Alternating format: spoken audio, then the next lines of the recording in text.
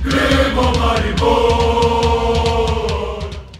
drugem večnem derbiju v letošnji sezoni, v zimskem derbiju v Ljubljani, poraz nič proti dva in s tem zaključek imenitne zmagovite serije. Primerjavi z zadnjo tekmo je Mauro Kamaranezi opravil samo eno menjavo pričakovano, glede poškodbe Jana Mlakarja, namesto njega je od prve minute zaigral Jasmin Mešanovič, še pred začetkom pa je večni rival čestital Enka Mariboru ob prihajajoči visoki obletnici okroglem jubileju 12. decembra, predčasno darilo za rojstni dan kluba.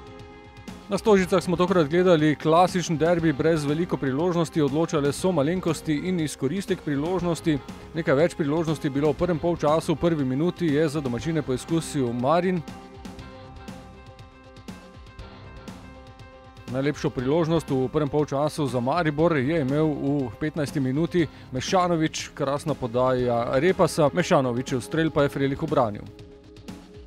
Pet minut kasneje so prvič zapretili tudi domačini, strelj Ivanoviča z razdalje, jug je preusmeril prečko. Le dve minuti kasneje pa ni bilo rešitve, po globinski podaji Ivanovič preigral juga in potem zaključil za vodstvo ena proti nič. V 30 minuti priložnost za izenačenje, hiter proti napad Mešanovič pa je streljal previsoko.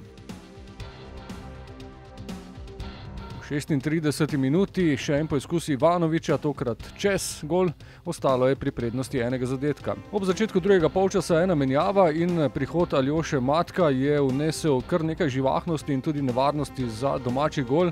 Prav po podaji Matka je Kronaveter v 51 minuti imel izjemno situacijo za izenačenje.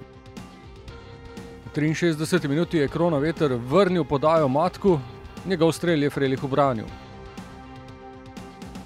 Namesto izenačenja pa v najboljšem obdobju Maribora na derbiju, povišanje vodstva za domačine, Andrejašič je pobegnil po desni strani, strelj Ivanoviča je jug obranil, tudi Vomberger je se znašel na pravem mestu. Dva proti nič, do konca številne menjave, tempo tekme je padel, ni pa bilo več prave možnosti za vrnitev v tole tekmo ali pa priložnosti za zadetek. Edina razburljiva situacija je bil dvoboj Močiniča in Matka, toda po mnenju sodnikov enajstmetrovke ni bilo. Tako se je končalo zmago gostiteljev 2 proti nič. Ekipa kljub temu ostaja na vrhu lestvice, točkovna prednost je nekoliko manjša. Jesenski del se nadaljuje v nedeljo, v Ljudskem vrtu bomo gostili Gorico. Penso che mh, se noi andiamo in vantaggio dopo l'azione di Meja, di Mejanovic, la partita poteva cambiare. Penso che loro hanno avuto tre occasioni, hanno fatto due gol, noi tre, zero. Quindi questa penso sia stata la differenza. Pa drugi polčas smo napravili dosta, dosta dobar pritisak, e, šteta što nismo iskoristili sa, sa, nekom, sa nekim pogodkom. E, Mislim da bi se tu utakmica isto mogla prelomiti.